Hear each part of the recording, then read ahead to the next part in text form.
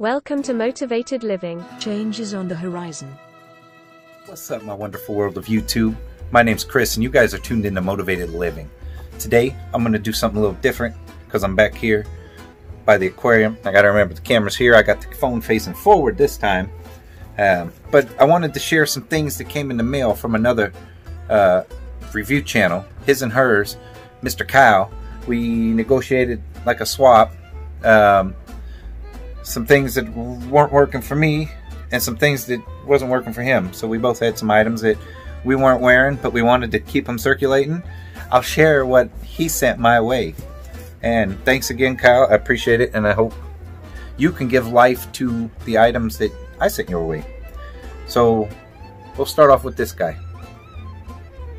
La Nuit de L'Homme. It's Yves Saint Laurent Eau Electrique. I like it. I like it a lot, actually. It's uh when I spray it, it gives me the feeling of I keep wanting to look at the screen, but I forget the camera's over here, and I'm trying to make eye contact with y'all. Um, it gives me that vibe of like the Paco Rabanne Invictus or the YSL, the Y, the EDT, kind of that aquatic type. No, that's the vibe I get. And I'm no expert on these. I'm just telling you how I feel, and I like it a lot. I'm a big fan of all the Yves Saint Laurent lines that look like this the L'Homme, the La Nuit de L'Homme. I've got several, and this was one that was missing. Now I just need to add the Libre, and there's a couple others because there's a ton of different ones of these out. It wasn't for him. He wasn't reaching for it. He wasn't liking it. Uh, so, in hopes to give it new life, it came my way. That's what we do in the fragrance community. We like to share things and hope that other people get love out of them. And uh, that's what we did. Now, they he shipped it in a box as you see, big old box. It came. Um, I've already dug through them because it's been a busy day swapping on. I couldn't wait anymore. I'm sorry. I'm not sorry, but I apologize. Y'all didn't get to see the unboxing. But uh, the bubble wrap, it has like sticky stuff on it. So they were all secured like that. I'm sure many of y'all are familiar with this guy, Dolce & Gabbana, light blue. There's an Intense out now, and actually, if you look down on my channel, my daughter and I did a head-to-head, and we both, actually the whole household, preferred the original Homme over the new Intense. Uh, to me, great smelling, bright. Uh, I don't know, I like it a lot, and anytime I put this on, baby gets extra close, if you know what I mean. Love that stuff. He says he has several of these. He's received them as gifts. Let me adjust. Where he's received received them as gifts, and he just had more than he was ever going to use. But yeah, I'll gladly take one of them. Let me bring this box down here. There's the classic vibe, Dolce & Gabbana. That's the Pour Homme. Yeah, buddy. Um, it's a different smell, but it's clean. It's it's not super fresh. Um, I don't know really how to explain it. It's just this clean, gives you this kind of a classic, classic vibe. Uh, it reminds me of some like high-end soap almost. It's appealing. My wife likes it when I put it on. And then I layered this one day. I sprayed this on and I got curious. So I ended up going over myself lightly with the light blue on top of this.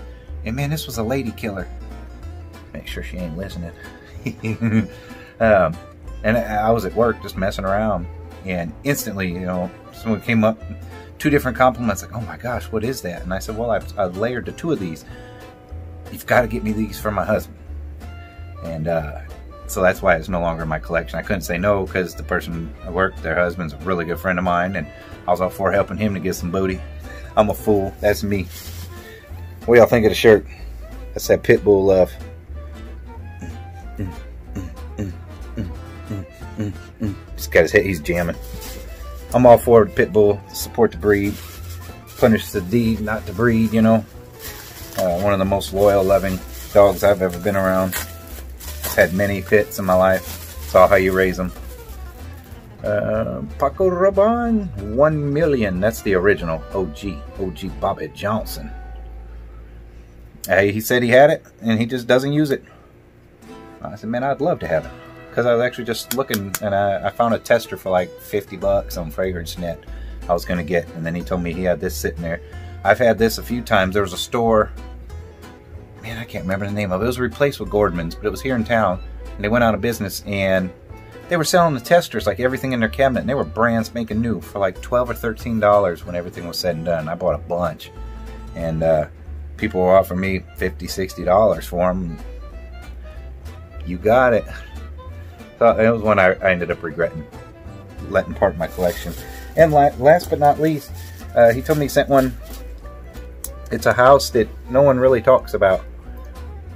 It's called Gorilla Perfumes. Come on, adjust.